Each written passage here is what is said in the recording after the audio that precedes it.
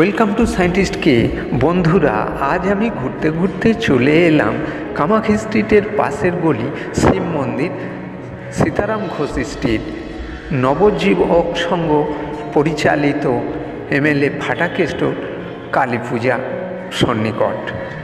এই ফাটাকেষ্টর পূজা এত দাপট ছিল, মানুষজন ভয় পেত, আর যা চাঁদা চাইতো তাই দিতে হতো।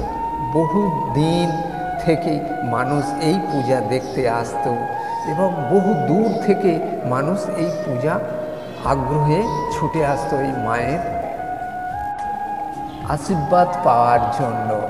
প্রচণ্ড ভিড় হতো। মানুষের এত সমাগম বলে বোঝাতে পারব না। আমি একবার এই পূজা দেখতে এসেছিলাম ছোটোবেলায়। সারা রাতের ভিড় ঠাকুর দেখার সৌভাগ্য হয় নাই।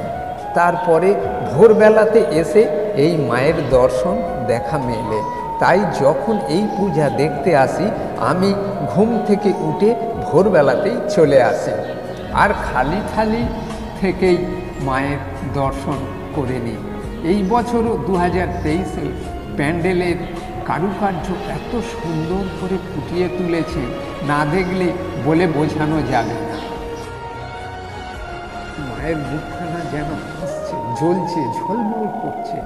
এই মায়ের পাশে সারা রাত্রি, দেখুন, দশ বারোটা কত বড় বড় মোমবাতি সারা রাত্রি ধরে জ্বলে আসছে।